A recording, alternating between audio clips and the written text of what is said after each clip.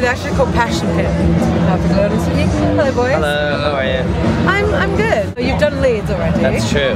How was that? Let, let's talk quickly about Leeds. It's good.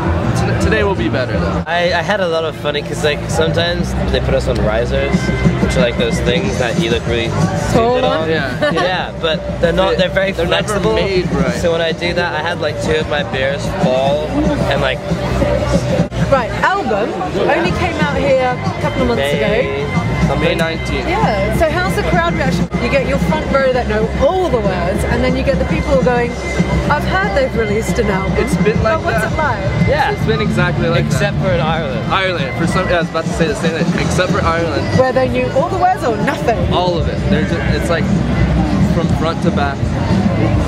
I can't wait to go back to Ireland. for that Really? reason. I don't know. Picnic. They make us feel special. When everyone first heard about you guys, everyone just thought, you know, oh, you know, it's it's another kind of Empire of the Sun, it's another Way better than Empire of the Sun. blah blah blah. Two years before all that. Yeah, Yeah, but you've man. only just kind of come to our public consciousness. You've got to give us a bit of time. the difference between all of them and us is that although on record they're electro, when you watch us live, we're not. ele- We're like, we're not like.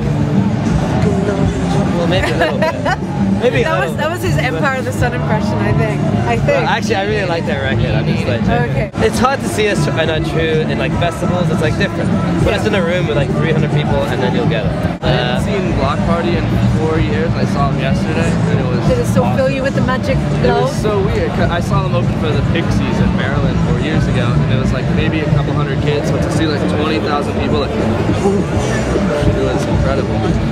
They Do you want actually, that? they do, you, do you want that level? Do you want 20,000 kids wetting themselves just you don't, you? you're shooting yourself in the foot. What's your secret to staying on the road for a long period of time? There is none. You get crazy, and then that's it. Really. Good luck with the All right, autumn thank tour. We'll see you back here quite soon on this. Yeah, yeah, definitely. Enjoy the rest of your day. All right, thank you very much. Thank you. Talk to you.